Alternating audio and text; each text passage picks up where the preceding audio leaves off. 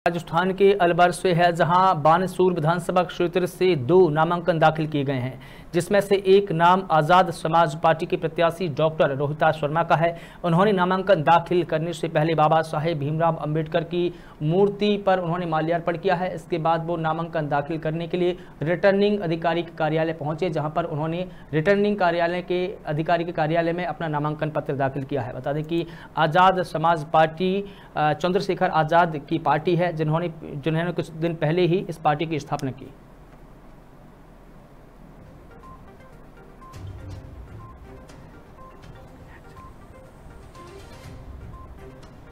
निर्वाचन अधिकारी के सामने शांतिप्रिय ढंग से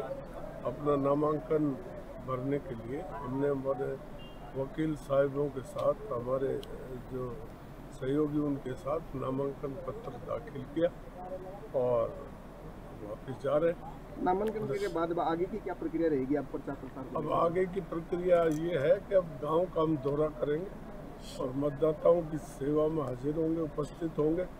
और मतदाताओं से वोट लेने के लिए अपील करें और चलिए बात करेंगे